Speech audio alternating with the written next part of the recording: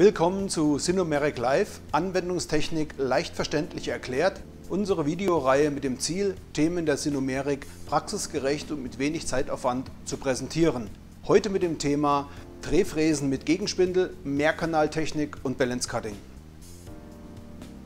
Unsere Agenda für heute Gegenspindelbearbeitung. Wozu benötige ich eine Gegenspindel auf einer Drehmaschine? Dann die Mehrkanalbearbeitung. Was verbirgt sich hinter dieser Mehrkanaltechnik? Und wieder unser Praxisteil an unserer MCO Hyperturn 65. Aufbauend auf unserem letzten Video des Drehfräsens mit CY-Achse heute die Thematik B-Achse und Mehrspindeltechnologie. Ein paar grundlegende Informationen zur Gegenspindel. Die Gegenspindel ist exakt gegenüber der Hauptspindel positioniert. Die Gegenspindel ist eine hundertprozentige Erweiterung zur Hauptspindel und somit hat man quasi zwei Maschinen in einer. Die Programmierung in der Sinomeric Operate erfolgt genauso wie auf der Hauptspindel und die Steuerung transformiert die Geometrie und die Bearbeitungsreihenfolge und Bearbeitungsabfolgen automatisch auf die Gegenspindel. Die Funktion und die Handhabung der Gegenspindel lässt sich in vier wesentliche Funktionen unterteilen. Das ist einmal die Teileübernahme, dann die Unterstützung, Stabilisierung, die Positionierung und die Fixierung. Dies bedeutet im praktischen Sinne, das Bauteil ist in der Hauptspindel gespannt und die Gegenspindel greift das Teil und übernimmt es. Das heißt, es wechselt von der Haupt- in die Gegenspindel und damit kann man diverse Bearbeitungen realisieren, zum Beispiel eine rückseitige Bearbeitung, sprich um die Rückseite plan zu drehen oder zu bohren oder wie auch immer. Die Unterstützung Stabilisierung als zweiter Punkt ist dahingehend von Bedeutung, dass wenn ein Teil eine gewisse Länge hat und daraus resultiert zum Beispiel eine Unwucht oder eine, eine Vibration, kann die Gegenspindel unterstützend hier eingreifen und man kann das Teil entsprechend besser bearbeiten. Der dritte Punkt wäre die Positionierung. Die Hauptspindel greift das Teil, die Gegenspindel übernimmt und zieht es eine definierte auf eine definierte Position und dann kann weitergearbeitet werden. Und der vierte Punkt wäre die Fixierung, sprich in der Hauptspindel gespannt soll hier das Halbzeug oder das äh, Bauteil abgetrennt, sprich abgestochen werden. Dann greift die Gegenspindel das Bauteil und es kann gefahrlos bearbeitet werden. Ein daraus resultierendes Umherfliegen ist somit ausgeschlossen. In der Synomeric Operate wird am Anfang des Programms festgelegt, ob eine Gegenspindel zum Einsatz kommt. Ist dies der Fall, wird im intelligenten Gegenspindelzyklus ausgewählt, was genau die Funktion der Gegenspindel ist und eben die vier vorab besprochenen Funktionen stehen zur Auswahl bereit. Nach der Programmierung kann man in der Simulation den realistischen Bearbeitungsprozess vorab sich simulieren und darstellen lassen. Allgemeine Merkmale der Mehrkanaltechnik. Die Kanalität einer Werkzeugmaschine richtet sich nach der Anzahl der Werkzeugträger. Das heißt, bei mehr als einem Werkzeugträger, zwei, drei oder vier, spricht man dann von einer Mehrkanalmaschine. Für jeden weiteren Werkzeugträger muss ein weiterer Kanal bereitgestellt werden.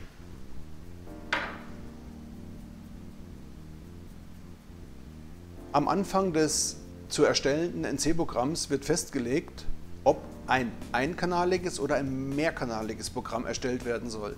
Ist das der Fall, dass ein mehrkanaliges Programm erstellt werden soll, wird in diesem festgelegt, welcher Kanal der Führungs- und welcher Kanal der Folgekanal ist.